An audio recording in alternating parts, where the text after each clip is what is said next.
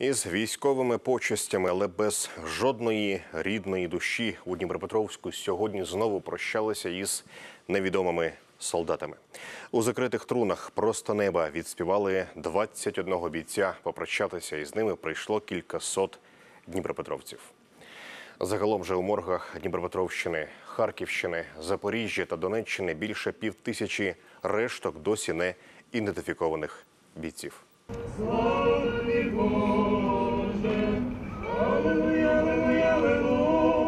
В останню путь їх проводжають просто неба на центральній площі Дніпропетровська. 21 закрита труна із рештками безіменних воїнів. Це невідомі солдати, які ймовірно загинули під Іловайськом.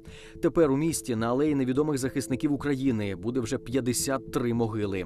Панахиду за ними служать представники усіх релігійних конфесій держави, а квіти до трун несуть сотні дніпропетровців, усі із єдиною надією.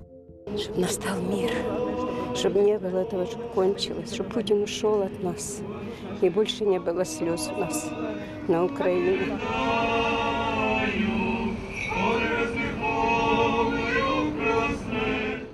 У всіх невідомих солдатів відібрані зразки ДНК. А у Києві при МВС вже створено єдину базу біометричних даних безіменних загиблих та їхніх ймовірних родичів. Саме у столиці проводитимуть експертизу ідентифікації. На сегодня во всех областных центрах, главных управлениях Министерства внутренних дел э, областей создана горячая телефонная линия, куда обращаются родственники погибших.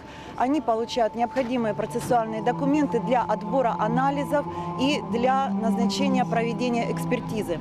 З початку жовтня для розшуку зниклих безвісти солдатів на гарячі телефонні лінії МВС звернулося лише 57 родин. Але у моргах Дніпропетровщини, Харківщини, Запоріжжя та Донеччини неопізнаних останків чотири рази більше. Офіційна цифра 552.